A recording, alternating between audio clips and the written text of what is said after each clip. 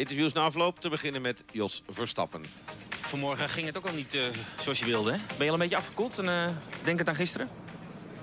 Ja, maar het is vandaag er niet veel beter op geworden, Jack. Dus uh, nee, vanmorgen stonden we ook weer aan de kant met, ja, met een probleem met de hydraulische apparatuur. Dus dat verliezen we ook de laatste 15 minuten.